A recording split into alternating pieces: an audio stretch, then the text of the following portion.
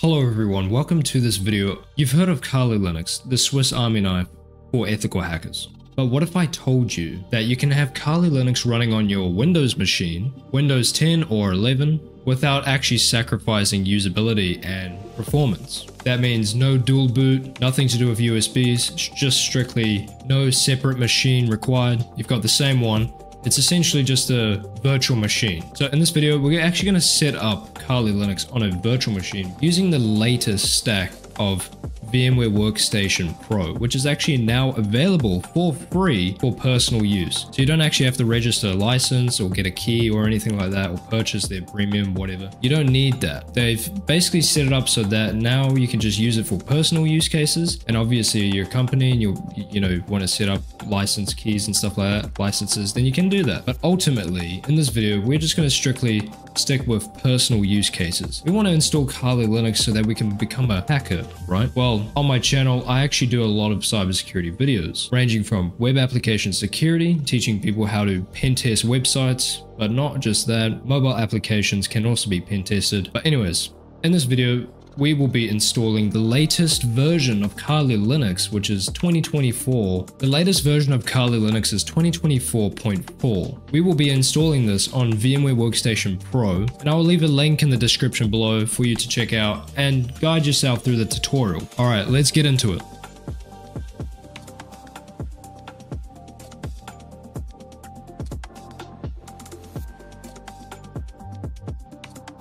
I'm going to walk you through the easiest and fastest way to install Kali Linux on VMware Workstation Pro on your Windows system. So you don't have to have a, another machine or any other requirements. You don't even need to dual boot it. All you need to do is click that run button and you've got Kali Linux running right now. As you can see on my screen, if I actually go to VMware Workstation at the bottom here, you can see I have Kali Linux installed. But it's not what you actually think. You know, you used to actually download the ISO file and have to manually set up the installation. You had to go through the installation process and that was a long that was a long process and that was a pain. So right now you can just click of a button and you can literally start using Kali Linux. It's that simple. So without further ado, let's do it. So the first thing that you want to do is open up your browser and go to this link in the description below. I've left it for you so you can check it out don't need to worry about that. This is VMware Workstation Pro, which is now available for free for personal use. Okay. So it's available free for personal use cases. And so I'm going to be going through the installation process with you. So as you can see, if you come down here, you can see that there's VMware Fusion Pro download and there's VMware Workstation Pro download. You want to click this one if you're on a Windows machine. I will not be guiding any Mac users because this isn't a MacBook, right? I'm not installing Kali Linux on a Mac OS machine and M1 doesn't really support it right now. So let's not focus on that. Let's focus on this here. So what you want to do is just click it, click on the link, and you will be guided to, you'll be guided to this page. It's called Broadcom. And essentially you would have to actually set up your account. So I'm not going to go through that process. You can just set it up, set up your username, set up your password, log in, and just download, you know, the download the installation. So once you have that downloaded, and you have that running in the background and installing VMware Workstation Pro, go to the Kali Linux website, kali.org. Kali.org. I'll put a link in the description as well.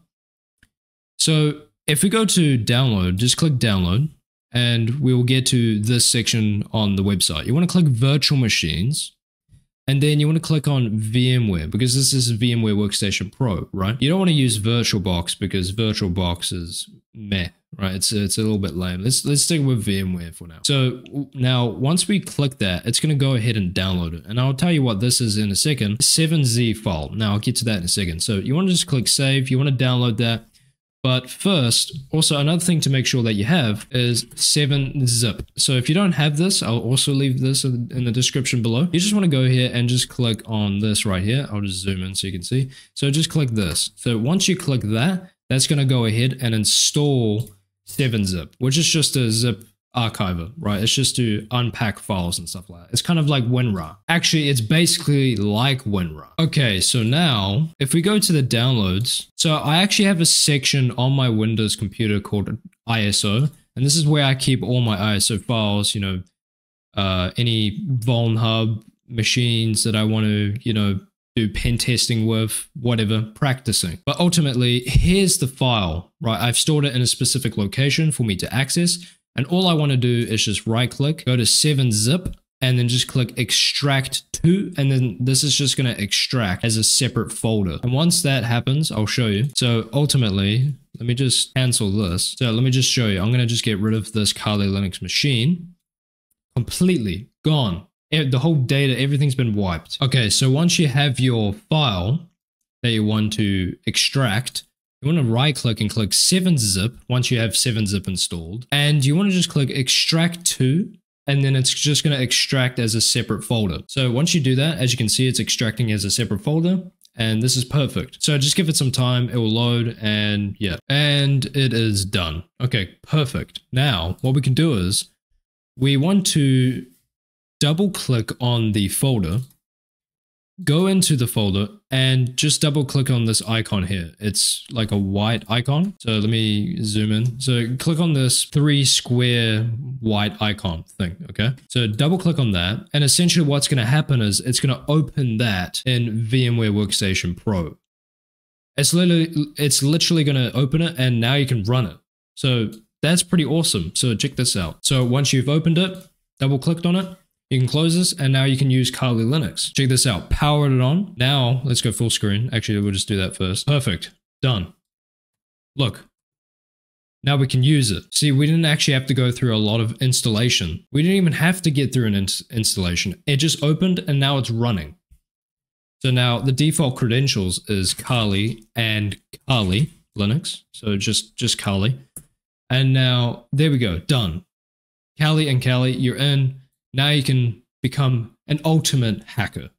You can join Anonymous. You can become an elite hacker, a pro hacker, an ethical hacker, of course. You don't want to do that unethically.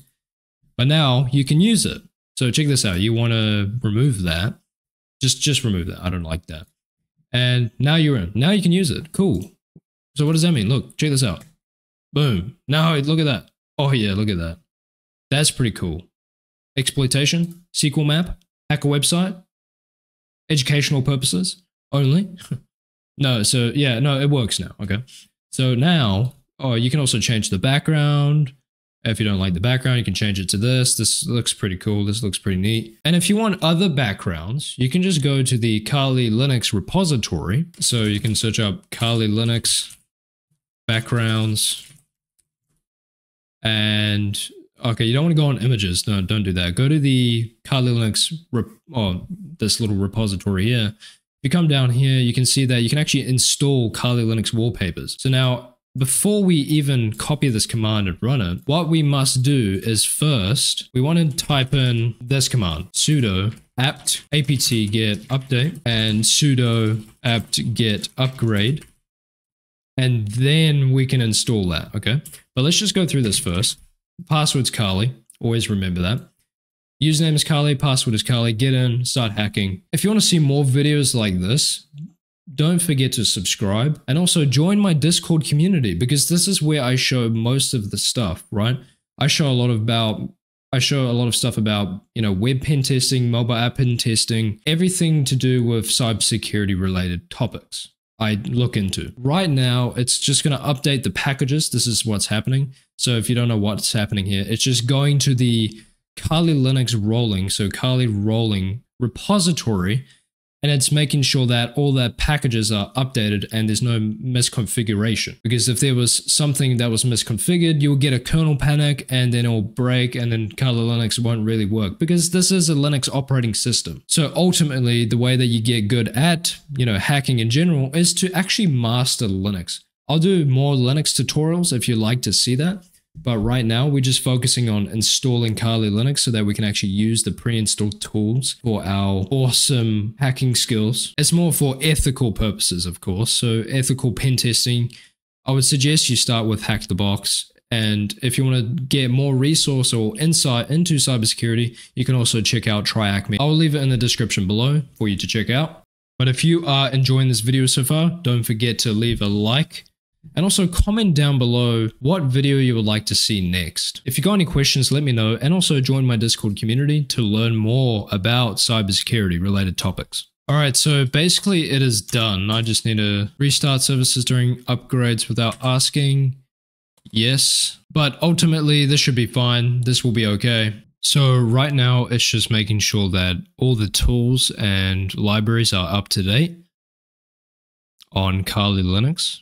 Wow, I must say that did take a while, but look, it's finished. Now we can actually run this command, which won't take long at all. When we run this command, it would essentially just install all the Kali Linux wallpapers so that we can actually have a, a little bit a spice up with different wallpapers. Now, when this happens, there's actually older versions of Kali Linux wallpapers that will also be available to use as a background, which is pretty cool. All the way back to Backtrack Linux. Man, Backtrack.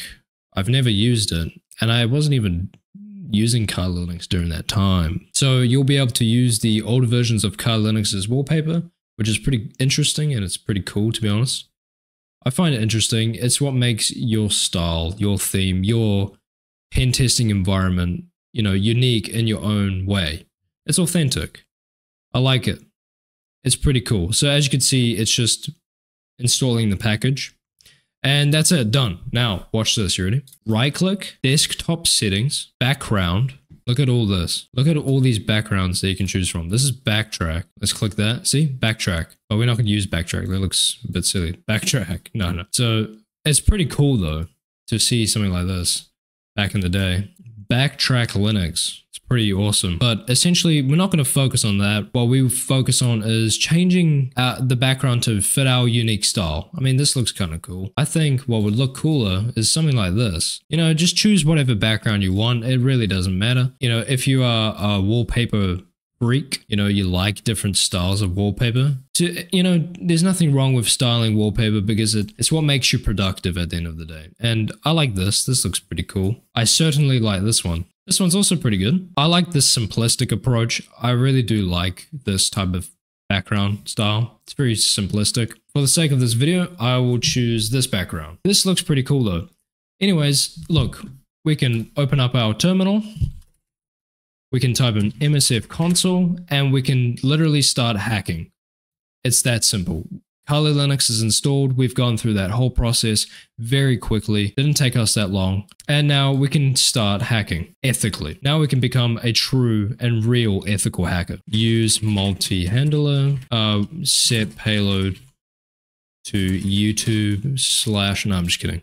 No, no, no. There's no payload or there's no module for YouTube the YouTube algorithm. So that was a joke. Anyways, if you enjoyed this video, please leave a like and subscribe. And I'll definitely, if you've got any video suggestions, please let me know and I will definitely do one. At the end of the day, it's not about what operating system you have for ethical hacking, but ultimately, can you do it? I like Kali Linux because it's got everything pre-installed. You don't have to worry about manual installation. It's just fast to set up. Look how fast that was. That was pretty cool. Anyways, if you enjoyed this video, and if you got any video recommendations or suggestions, leave them down in the comments below, and I'll get back to you, and I'll do a video on it.